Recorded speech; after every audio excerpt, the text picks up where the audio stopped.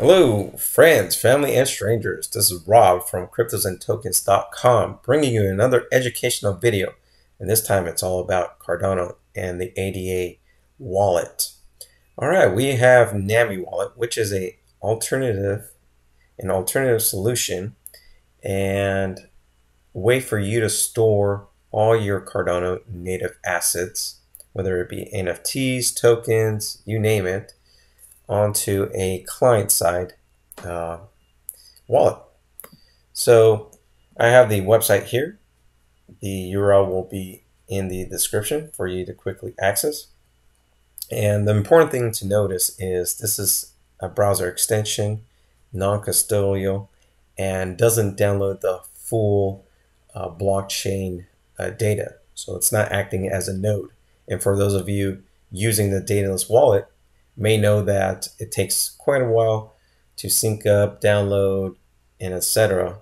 And that's because the resources needed are, you know, intense. So uh, a client side wallet doesn't need all that information.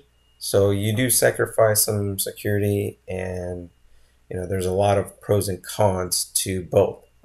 So before you make your decision if you'll be using the Nami wallet, read through the FAQs and that will give you some uh, guidance and sense. So much like other plugins, you have a few browsers that are available and ready. So I do have the Chrome browser here, which I will set up and guide you through. Okay, I'm going to quickly add this to Chrome. So what's installed, you'll have an icon here. And sometimes you'll need to pin or allow the plugin. So this is uh, first time setting up. And if this is your first time, you'll click new wallet. For those who have a different wallet and would like to import their wallet in order to use uh, the NAMI wallet, you'll click the import and that'll take you through the procedure to uh, have the recovery seed on hand and readily available. So if you have a recovery seed, uh, most likely you can use this function. But we're going to focus on a new wallet. Okay. This is just saying, hey, are you secure? Nobody's watching. And once you go through this process here, you'll uh, want to write these down, put them somewhere safe. And the next uh, step will be to confirm. Okay. And then once you're done with that,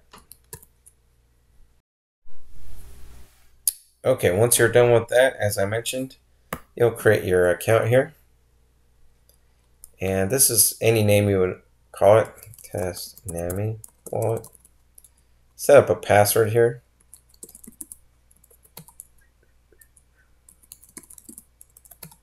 Okay. And boom, you're all set. We can close the browser uh, extension here and that's it.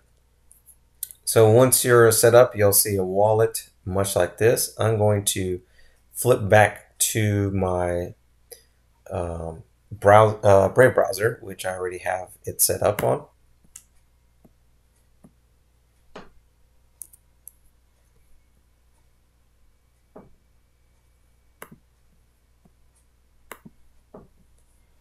All right.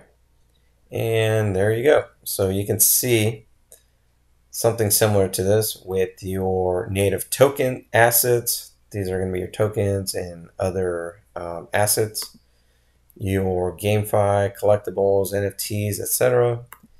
And you'll, you know, you'll see your transactions. Uh, the cool thing about this wallet is you can quickly delegate to the Berry stake pool and earn about 5% uh, rewards per year, which is nice. So instead of having your ADA do nothing, you could put it to work. And a couple uh, quick buttons, you know, receive, send, that's all rudimentary. You can add an address a stake handle, etc. Okay, and a couple options here in settings for you to review whether you're developing on Cardano or not. You can enter um, the testnet mode. You can add some whitelisted sites for you to feel secure and avoid phishing and scams, and a few other general settings for you to customize within your environment. So that's pretty much it. Uh, this is just a quick way to access and interact with Cardano without having to utilize the full node wallet, which is the Daedalus. And hopefully this will make your life easier. So if you have any questions, post it in the uh, comments below. We'll review and help you navigate through this bearish times for you to um, become more aware and educate yourself. All right. Thank you. Have a good one.